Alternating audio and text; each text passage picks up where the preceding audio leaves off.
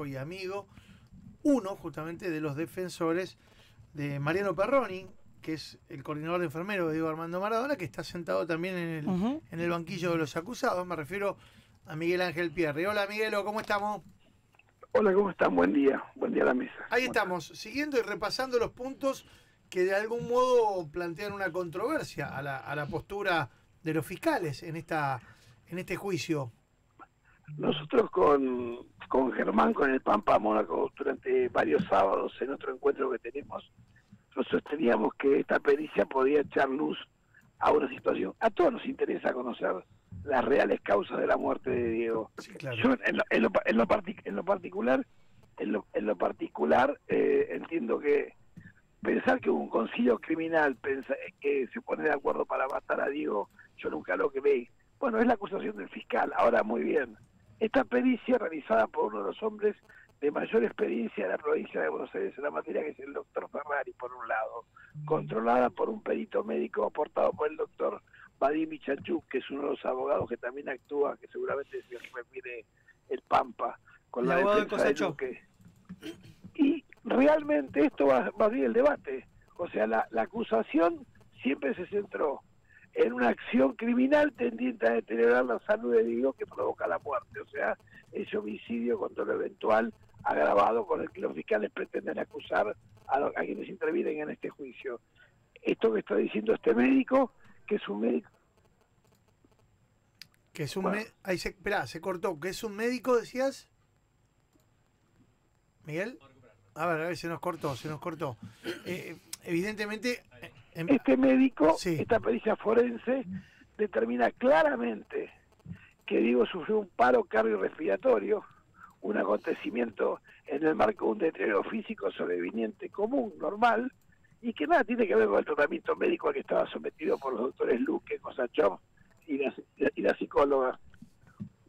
Bueno, Mi- Miguel, hola, hola. A ver, bueno, se nos está, se nos va la comunicación. Eh, ta- eh, cerremos el concepto porque me parece lo importante es que comienzan Bueno. a aparecer controversias. A ver, no, ahí te recuperamos. no. Bueno, Sí.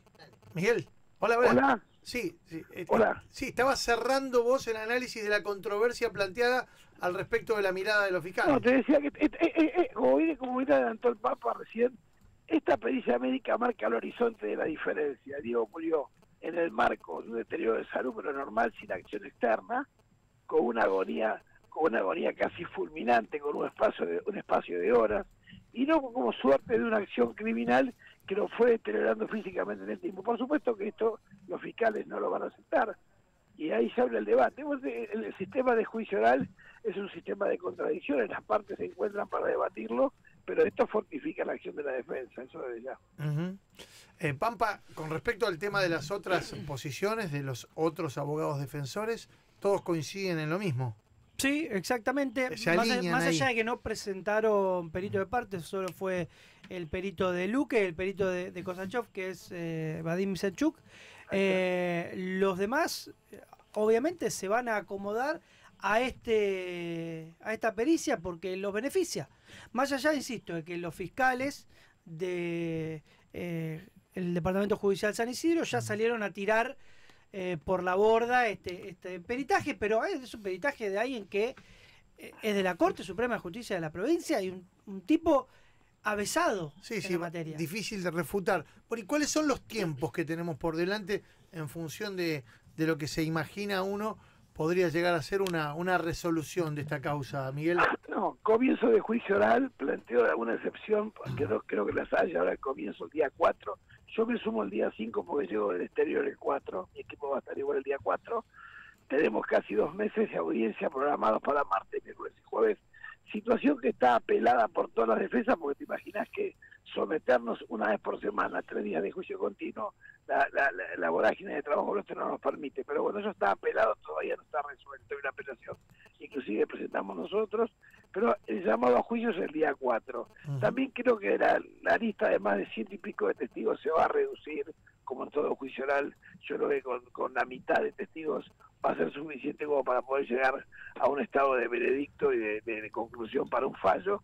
Y en lo personal, creo que le va a costar mucho a la Fiscalía poder plantear, poder sostener y poder mostrar, demostrar en el momento de producir la prueba de que hubo un acuerdo criminal con un, un homicidio con dolor eventual. Yo creo, además, vuelvo a un principio que el Pampa y yo estudiamos en la facultad mucho tiempo.